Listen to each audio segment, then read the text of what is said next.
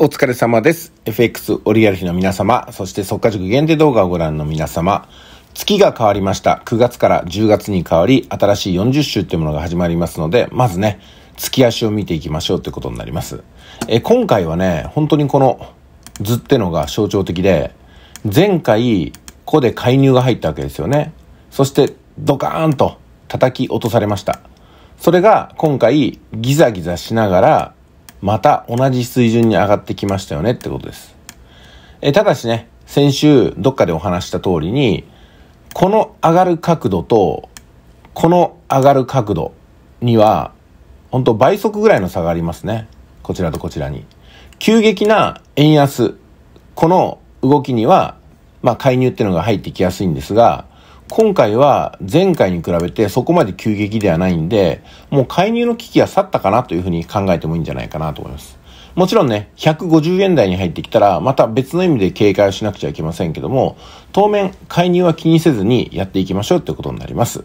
えそれがこの月足で判断できるところですね。えー、そして、えー、10月2日から5日、40週目は、オーソドックスなテクニカルでいいんじゃないかなってことを、テクニカルの材料をね、見て判断できます。テクニカルの材料を見て判断するって変な言い方ですけども、あの材料ね、指標の方を40週目おさらいしてみると、特にね、大荒れしそうなものってないんですよ。うん。だから夜にアメリカの材料が入って、日本では午前中にちょっとざわつく可能性があるかなってことなんですけども、午前中に相場を見て、えー、で、昼までにエントリーポイントを見つけて、で、エントリーして夕方に決済っていう流れで、えっ、ー、と、1日、1週間ですか ?1 週間過ごせると思いますので、非常に取り組みやすい40週間目っていうことになるんじゃないかなと思います。じゃあ次、週足の方を見ていきますよ。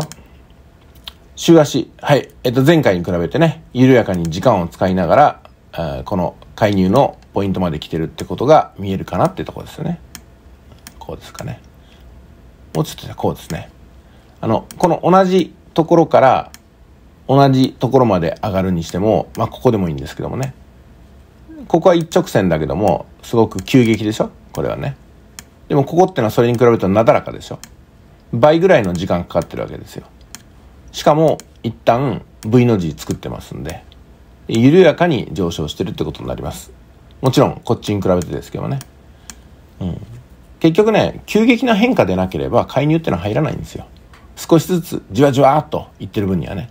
で、お話ししましたけども、あの、介入するってことはドルを売って円を買うってことですから、あの、ドルの準備金っていうのを減るのは非常にね、えー、外交政策としてもあまりよろしくないんで、介入もできれば入りたくないっていうのが日銀の考えなんですよね。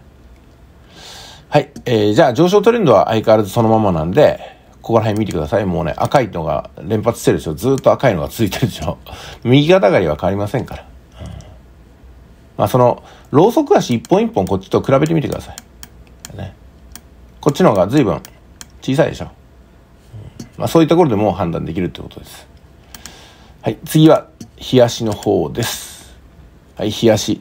まあ上昇トレンドが確認できるってことです。前回口先介入が入ったのがここなんですけども、ここを大きく超えて今に至っても、もう口先介入すら入んなくなったでしょこの1週間。まあ岸田総理が記者会見でね、あの、記者の質問に答えて何か言ったってのはありますけども。うん、あれはまあ口先介入には入りませんから。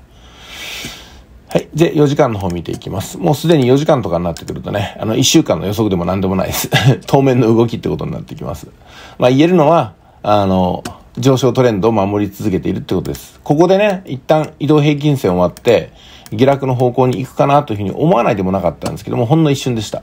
もうね、すぐに上の方に戻りましたんで、上昇トレンド継続でいいんじゃないかなと思います。そして今、ここにレンジが作られているっていうところですね。先週もこのレンジで随分と、あの、利益を取れたと思いますけども。で、1時間に戻ると、レンジオプションがはっきりするかなっていうところです。えっと、何らかの現象で、金曜日のあの午後からね、こういうふうに随分えぐれた状態がありました。